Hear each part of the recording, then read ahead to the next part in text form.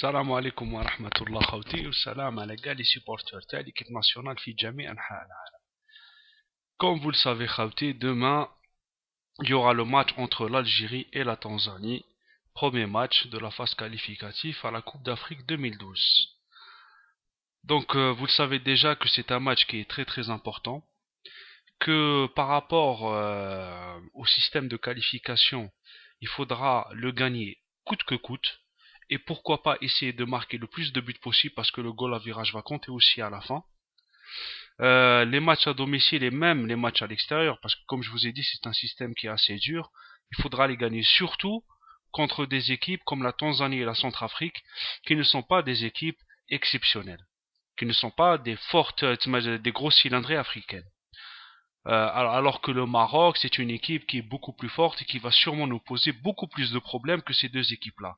Donc euh, la Tanzanie, euh, le match de la Tanzanie, c'est un match qu'il faudra gagner. Donc la victoire, rien d'autre. Rien d'autre. Pas de match nul et surtout pas une défaite. Ça, c'est quelque chose qu'il faut franchement éviter. Moi, je pense, et j'ai l'intime conviction que l'équipe nationale a toutes les qualités pour gagner ce match-là. Elle a franchement toutes les qualités. Euh, maintenant, vous savez très bien, il est où le problème?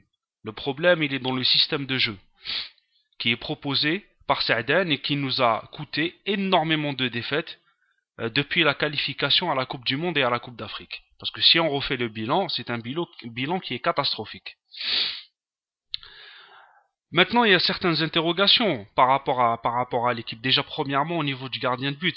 Qui sera aligné comme gardien de but?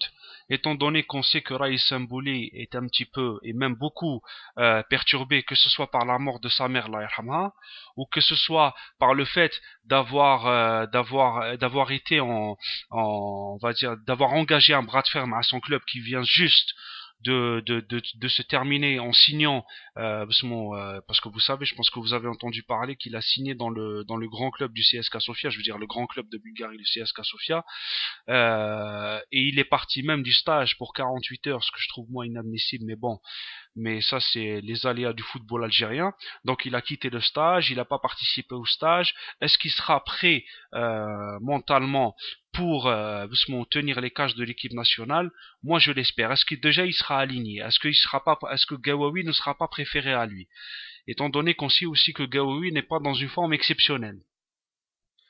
Donc c'est vrai que le, poste de gardien de but c'est un poste qui va être euh, qui va être euh, où le choix va être très dur où il faudra surveiller aussi la performance du gardien de but qui sera mis qui, sera mis euh, qui sera mis comme titulaire parce que là parce que si le gardien de but n'est pas bon, j'espère juste qu'on n'aura pas de, de, comment on appelle ça, euh, qu'il n'y aura pas de bourde euh, commise par le gardien. Peut-être le gardien le plus, euh, le plus, euh, le plus frais. Je pense que ça doit être Zemamouche qui fait un, un très bon stage avec son équipe du Mouloudia en Pologne. Peut-être que c'est lui qui est le plus frais. Voilà.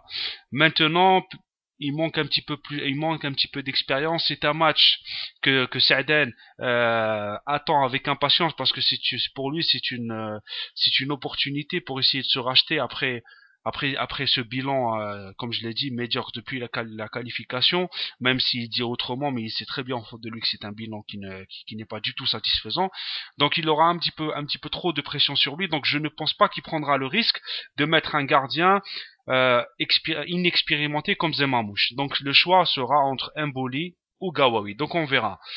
Maintenant aussi la défense, aussi beaucoup d'interrogations par rapport à la défense.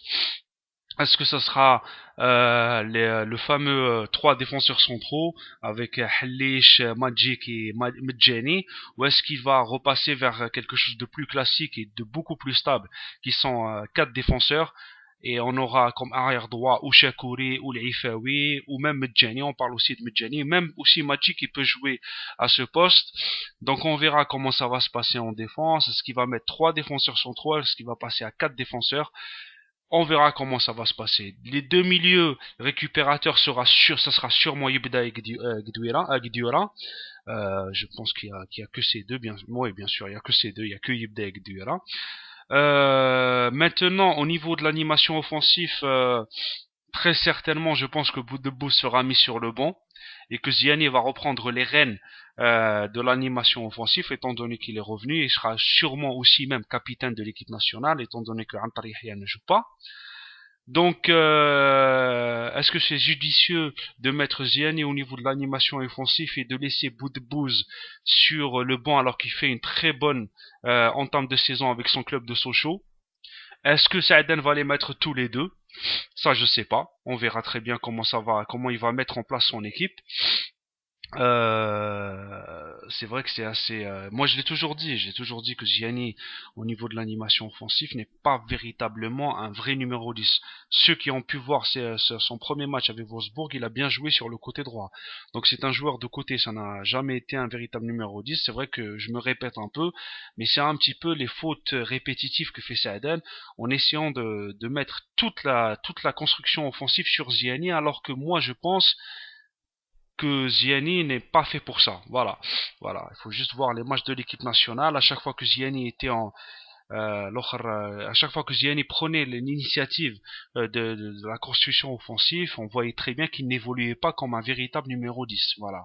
C'est quelqu'un qui va systématiquement vers les côtés, c'est tout le temps les, les longs centres et tout ça. El-Mohem, On verra comment ça va se passer. Parce que comme vous savez, à chaque fois que, que c'est Ziani, le jeu penche euh, de manière presque exclusive du côté gauche entre lui et Belhadj. Donc voilà. Euh, maintenant sur le côté droit, on est en train de, de, lire un petit peu dans la presse que ce sera Rizal qui va prendre le côté droit. Euh, Alhamdulillah, j'espère que ça va être ça, j'espère qu'il va pas encore nous remettre Djibbour et Rizal. Pour ceux qui pour ceux qui, qui suivent mes vidéos depuis longtemps, moi je l'ai dit il y a ah, bien avant, quand il était déjà à Sienne, que Rzes était un joueur qui, euh, qui, a, a toujours évolué dans son club à Sienne sur le côté. Bon, un petit peu plus sur le côté gauche, mais bon, c'est Ziani qui va prendre sûrement le côté gauche, mais il pourra toujours prendre le côté droit. Donc c'est un joueur de côté Rzes. Et euh, ceux qui n'ont pas, ceux qui ont vu le match contre la Juventus avec son nouveau club à Paris, il a été sur le côté gauche. Et ceux qui l'ont pas vu peuvent aller voir la vidéo de DZ algérien. C'est c'est un ami sur YouTube qui fait des, des montages de joueurs de l'équipe nationale qui jouent leur match euh, avec leur club et aussi en équipe nationale. Moi, allez voir. Vous allez voir que Rzal joue sur le côté gauche. Il a été très bon, très percutant. Donc voilà, donc euh, apparemment ça sera sûrement Rzal parce que Motmour est blessé. Voilà, Motmour apparemment il a, il ne pourra pas être aligné d'après les dernières informations qu'on a. Donc ça va être Rizal qui va prendre le côté droit et l'animation du côté droit. Euh, on verra. Moi je pense que Rizal sur le côté ça peut être un bon choix. Maintenant il faut juste voir comment il va, comment il va évoluer en équipe nationale parce que championnat plus calcio, il, est bon sur les côtés. Il est bon sur les côtés. Il était très, très percutant, très physique, il est très rapide et tout ça. Donc euh, voilà, donc euh, on verra. Euh, au niveau de l'attaque, normalement sans surprise, on aura Djibbour et Ziaya. Normalement sans surprise. De Djibbour qui a marqué déjà deux buts avec son club en Europa League et en championnat. Ziaya qui est en train de briller en championnat d'Arabie Saoudite, il vient de marquer son troisième but. Donc normalement on aura Djibbour et Ziaya qui vont, qui vont être à la pointe de l'attaque algérienne. Euh, je pense qu'on peut pas faire mieux. Voilà. Je pense que c'est les meilleurs choix qui s'offrent à l'équipe nationale avec les, euh, les 22 qui ont été sélectionnés. Voilà. Donc voilà Khauti. Donc maintenant, maintenant on va on va voir comment il va mettre son équipe en euh, quel est le dispositif tactique? Je veux dire qu'il va choisir. Est-ce que ça sera ça sera un 3-5-2, est-ce que ça sera un 4-4-2 On verra compétition peut-être même il est en train de penser au 4-3-3. Ce qui est sûr et certain, c'est qu'il faudra jouer l'offensive. Ce qui est sûr et certain, c'est qu'il faudra marquer des buts et gagner. Voilà. C'est ça qui compte. C'est ça. Autre chose, non. On n'en veut pas. Le plus important, c'est de gagner. Le plus important, c'est de gagner. Si on peut marquer des buts et le maximum de buts à domicile, ça serait encore mieux. Voilà. Bien sûr, on aura aussi, euh, euh, on verra aussi avec beaucoup d'attention le match entre nos frères marocains et la Centrafrique, parce que c'est vrai que le Maroc représente l'équipe euh, la plus la plus dangereuse dans ce groupe. Voilà. Si on si on si on reste dans une certaine logique footballistique, malgré que le football n'est pas une science exacte. Donc voilà, je pense, Khauti, les interrogations et les joueurs qui vont être mis en place par Saadel d'après ce qu'on est en train de voir, d'après ce qu'on est en train de lire, et d'après ce qu'on connaît un petit peu de Sa'dan. On a vu Saïdan aussi faire une conférence de presse où il a été un petit peu offensif, même beaucoup. Euh, ça m'étonne pas, parce qu'il y a des personnes, ils m'ont dit, ouais, t'as vu Saïdan, il est devenu offensif. Moi, ça m'étonne pas. Comme je vous ai toujours dit, Saïdan a toujours trouvé son bonheur avec les petites équipes africaines. Donc, euh, donc, ça m'étonne pas du tout. Mais bien sûr, en même temps, il souffle, il souffle toujours le chaud, et le froid, tu vois. Donc, il, il, il te dit, euh, oui, on va être là, on va gagner, on va casser la baraque et tout ça. Et euh, en même temps, il te dit, oui, mais il faut faire attention parce que l'équipe de la Tanzanie, nanani, bon, on sait très bien que bon, moi je suis pas là pour euh, pour dire que l'équipe de la Tanzanie c'est une équipe nulle, c'est une équipe qui ne sait pas du tout jouer au football et tout ça.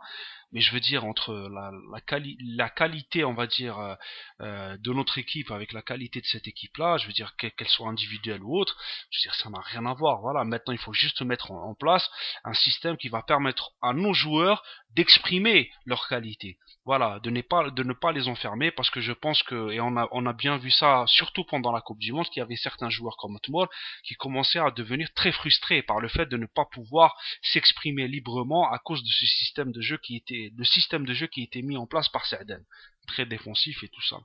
Donc voilà, donc qu'il y ait un changement, euh, qu'il y ait un changement de, temps de Saden, oui, c'est salutaire parce que moi j'ai toujours milité pour qu'il y ait ce changement de temps, pour qu'il parle à ses joueurs comme, comme on, parle à, des personnes qui doivent gagner un match, pour moi c'est donc c'est salutaire.